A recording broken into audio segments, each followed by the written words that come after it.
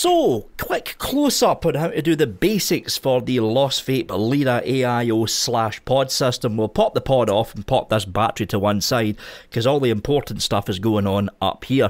This is in this is an open system. It's not a closed pod. You can actually refill this and replace the coil. To take the top off, look for the tab there and the tab there. Get your finger and your thumb, squeeze and the top just pops off like that.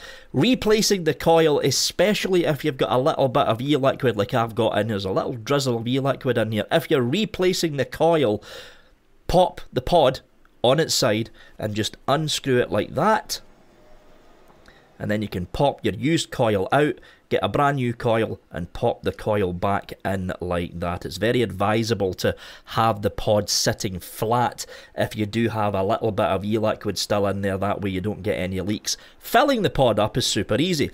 Two little rubber stoppers, pop one out, pop the other one out, and then get your bottle of juice.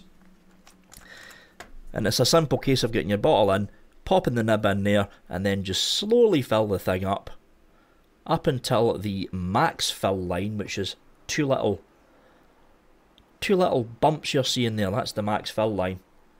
Pop it all the way up to there. Then once it's filled up, pop the rubber stoppers down. Just like that. Get the top of the tank pod, clip it back into place, and then pop the whole pod back in like that. And that's that's how easy it is to fill up the pod with juice and to also replace the actual coil in here. The battery itself is very easy to use. One, two, three, four, five. That switches it on and off. One, two, three, four, five. That's it back on again. One, two, three. One, two, three.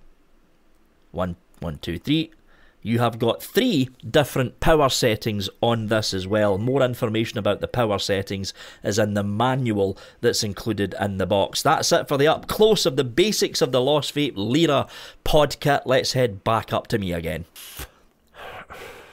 And there we go. It's as simple as that. That was the Lost Vape Lyra close up. Hope you found this video helpful. Have a good one.